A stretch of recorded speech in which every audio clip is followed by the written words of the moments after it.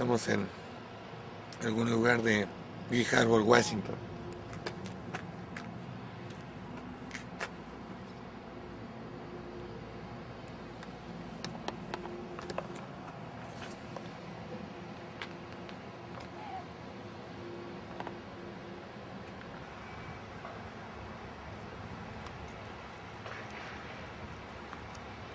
You cannot attach nothing here because as you see the base, the corners are really bad.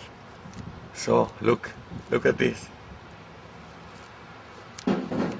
So obviously it's gonna be a leak in there, which is not our liability. So we're gonna wait, same like the other side. As the payment was refused to pay, so we just proceed to unscrew and take the product back.